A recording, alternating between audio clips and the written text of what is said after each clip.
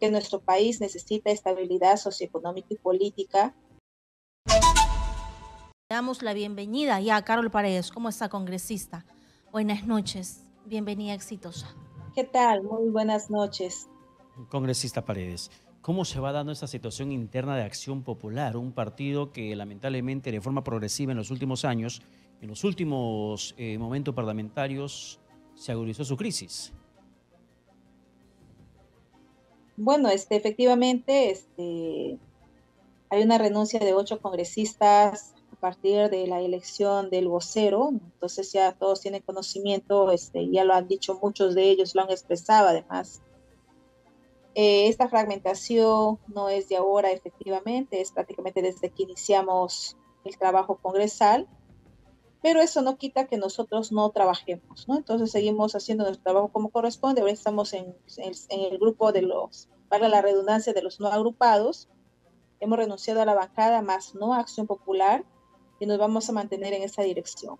Bueno, al menos de los ocho hay una gran mayoría que estamos en esa dirección. El vocero Darwin Espinosa ha dicho que las personas que han renunciado no tienen nada que reclamarle porque también presentan investigaciones. ¿Qué podría responderle a ello? Eh, sí, efectivamente, este, yo respeto mucho la opinión que pueda tener el congresista este, Darwin Espinosa. Este, respecto a las investigaciones, la Fiscalía hará su trabajo como corresponde. Incluso a mí me han involucrado también en un tema que no tengo nada que ver. Como digo siempre, el que nada debe, nada teme. Este, vamos a seguir el, el, vamos a estar atentos a lo que pueda este, indicar la Fiscalía yo personalmente me voy a defender como corresponde porque efectivamente de las del tema que me imputan no tengo nada que ver, entonces yo por esa parte estoy relativamente tranquila. Sin embargo, congresista Paredes, aunque estemos hablando de la problemática que está atravesando Acción Popular, no podemos negar que este es un reflejo de la crisis política de los partidos que estamos en este momento viviendo los peruanos. No existe alguna voluntad, por lo que vemos, desde los partidos que tienen bancada parlamentarias de mejorar el nivel o el sistema partidario para mejorar la oferta electoral en un nuevo contexto de votación. Efectivamente, este, Acción Popular y otros partidos también este, tienen una enorme crisis y ahí sí nosotros consideramos que las reformas políticas se tienen que dar, porque sabemos que el verdadero filtro de todo este proceso, pues primero es la casa partidaria, ¿no? Para ver a quienes elegimos desde una elección interna, luego este, también los ciudadanos a quienes se eligen para poder representar cómo corresponde en un Congreso. Entonces yo creo que todos tenemos que poner toda nuestra parte para que no sucedan los casos que nosotros estamos viendo casi en el día a día y que de una u otra manera debilitan este, la institucionalidad del Congreso y ahí tenemos que trabajar todos juntos en una misma dirección. Y algo que también ha sido cuestionado en el Congreso de la República es la comisión de ética que usted presidía hace algunos días o semanas, donde casos emblemáticos fueron pasados por agua tibia, el caso de los niños, caso de los congresistas muchos sueldos, entre otros. ¿Cómo evalúa su desempeño como presidenta de la comisión de ética? ¿Qué hora lo va a tener Avanza País? Efectivamente, este, muchos este, han criticado a la Comisión de Ética este, porque las propuestas que lleva el equipo técnico que ha sido liderado por mi persona, eso se define a través de votos que han sido representados por las diferentes bancadas que han sido parte de esta comisión. Y lo que yo podría hacer como especie de un balance muy general es que efectivamente este, nos hubiese gustado que la institucionalidad se fortalezca como tal, y que también la mayor parte de los congresistas entiendan lo que realmente la ética, ¿no? Nosotros sabemos que todo lo que pueda afectar la imagen este, de la institución, pues este, a través de nuestros comportamientos o conductas, este, no favorece para nada, ¿no? Entonces, nosotros desde el equipo técnico hemos tratado en lo posible de generar propuestas, eh, pero que eso al final se define en la comisión. ¿no? Me hubiese gustado que la mayor parte de la comisión, los integrantes, hubiesen aprobado las propuestas que nosotros llevábamos, ¿no? Pero bueno, hay cosas que efectivamente ya escapa de nuestras manos y que la decisión lo tiene él o la congresista a través de sus votos. Pero ¿cuánto peso tiene la Comisión de Ética dentro de decisiones parlamentarias, congresistas, tratándose de una comisión especial? Porque, por ejemplo, en el caso de los mochasueldos, puntualmente hablando de ello, eh, hay que reconocer que usted votó en contra de ese cambio en la sanción que finalmente impusieron a las parlamentarias inmersas dentro de esos escándalos de quedarse con parte del sueldo de sus trabajadores.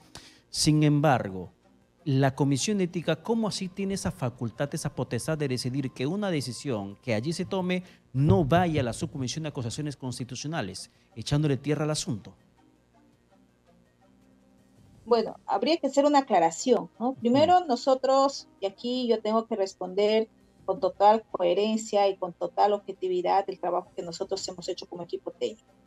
Nosotros llevamos la propuesta de los 120 días de suspensión para que esto sea debatido a nivel de la Comisión de Ética en general y luego eso podría haberse pasado al Pleno.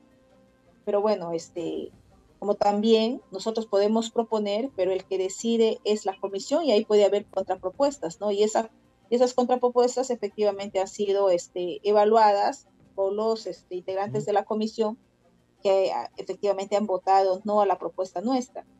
Ahora, respecto a la pregunta que usted hacía, efectivamente nosotros como parte de la Comisión de Ética, creo que este, deberíamos asumir con mayor responsabilidad lo que realmente es este, esta comisión.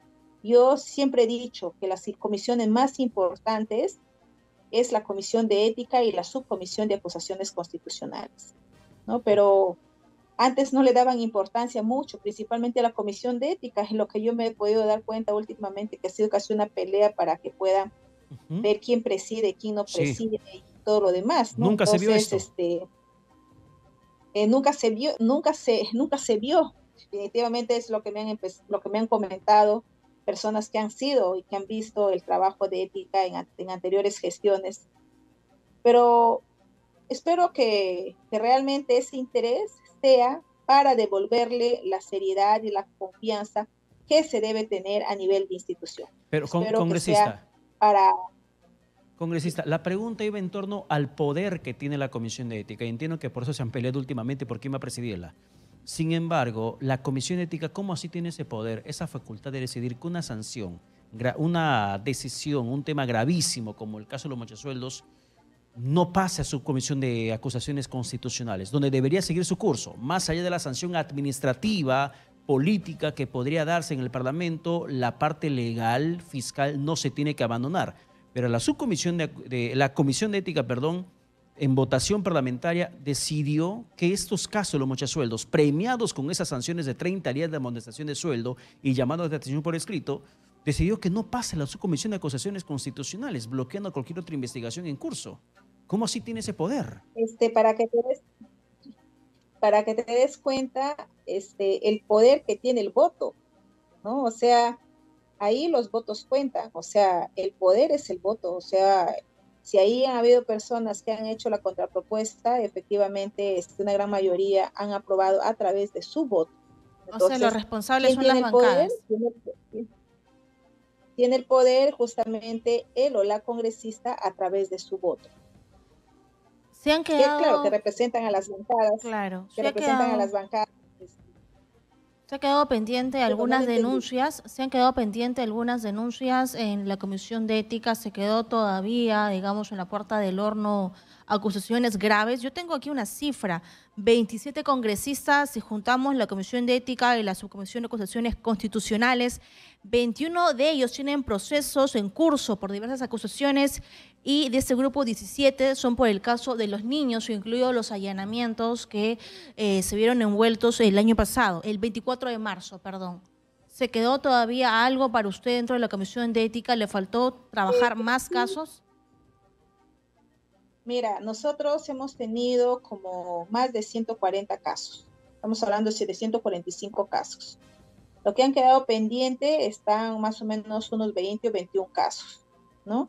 Eh, hay muchos casos que ya deben pasar a audiencia, algunos ya este informe final, otros este, lo que nosotros decimos prácticamente este, al, al tema de pasar los casos a indagación. Exactamente los números a la mano no lo tengo porque son muchos, pero sí te puedo decir que la comisión, la persona que asume la comisión de ética, este, seguirá las propuestas que nosotros hemos dejado o en todo caso evaluará las propuestas que nosotros hemos dejado.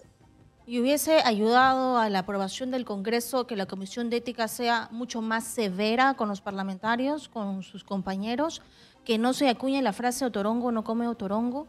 hubiese ayudado a que la gente diga, bueno, este Congreso se está regulando, está siendo sancionado por cosas que no son correctas, como caso de los niños, caso de congresistas, muchos sueldos. Mira, este, efectivamente yo hubiese esperado esas respuestas, ¿no? Pero lamentablemente ha habido un, no digo todos, de los 130 congresistas, hay un buen número este, de congresistas que efectivamente se pelean en buenos términos, no solamente por la buena imagen del Congreso, sino también por fortalecer la institucionalidad del Congreso. Eh, bueno, ahí pues este, también el tema de las interpretaciones, ¿no? Que cada uno tiene, o sea, piensan que, que lo ético hay que llevarlo por un tema fiscal, judicial, cada uno tiene sus propias interpretaciones.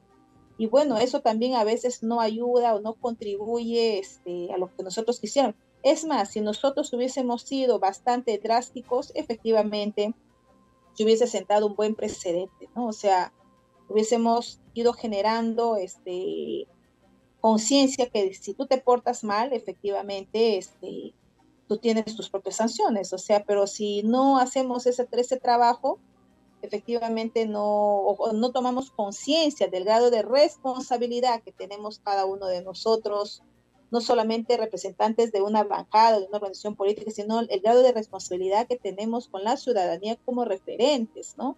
Nosotros somos políticos y deberíamos ser referentes de las buenas acciones, de la buena conducta, de todo lo que nosotros este, pregonamos, no solamente como parte de un discurso, sino también como parte de nuestro propio accionar en nuestro día a día. Perfecto, congresista. ¿Usted siente que en estos momentos eh, el Parlamento está atravesando una crisis mayor que la de periodos anteriores? Porque en este proceso, este nuevo año legislativo, por ejemplo, estamos viendo alianzas contra natura para muchos, la extrema derecha la extrema izquierda unidas, tomadas de la mano en la mesa directiva. Vemos cómo es que grupos políticos terminan pugnando por el control de la Comisión de Ética y no porque quieran sancionar, sino para, al parecer porque quieren extender la impunidad. ¿Siente usted que hay una sensación de mayor crisis en el Parlamento en este nuevo periodo legislativo? Yo creo que este, el resultado este, que de los este, o las congresistas que ahora son parte del Congreso es justamente de una crisis política partidaria.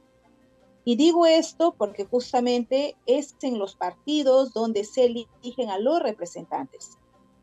Y creo que, y vuelvo al principio de mi intervención que les decía, que tiene que haber una reforma política partidaria responsable y ahí tenemos que contribuir todos para tener los mejores cuadros. Ese es uno.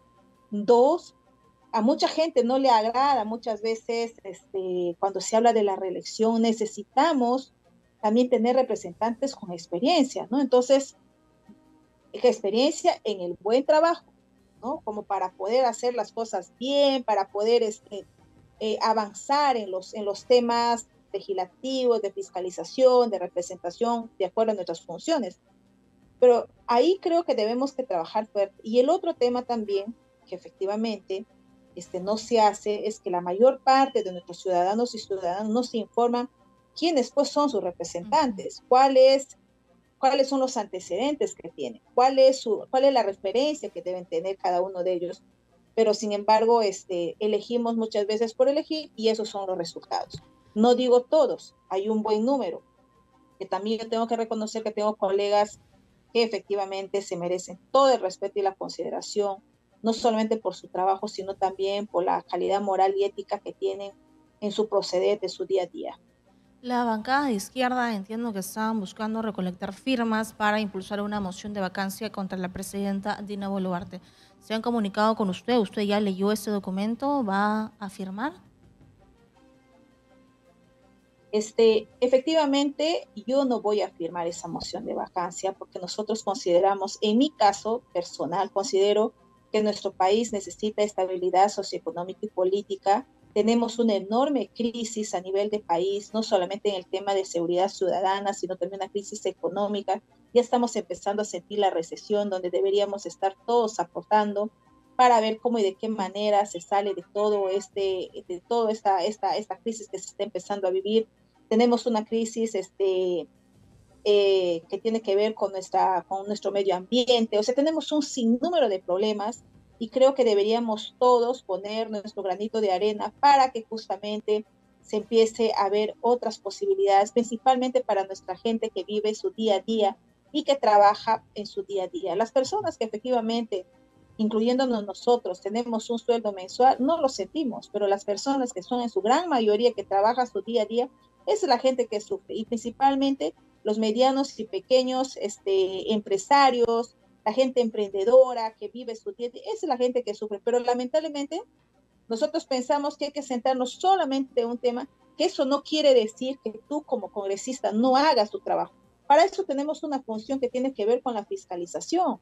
Ahí deberíamos apuntar si están haciendo buen uso de los recursos, si se están cumpliendo, si se están implementando las propuestas legislativas que vayan en favor de la ciudadanía, si se están reglamentando. Yo creo que por ahí deberíamos empezar a trabajar y no solamente porque a mí de tal persona no me cae bien, porque antes cuando estuvo el señor este golpista Pedro Castillo, sí nadie decía nada, ¿no? Ahí sí estaban calladitos los que ahora este, están presentando la moción de vacancia, cuando es también la persona que está, que está liderando el país, es parte de esa plancha y que también de una u otra manera ellos han avalado.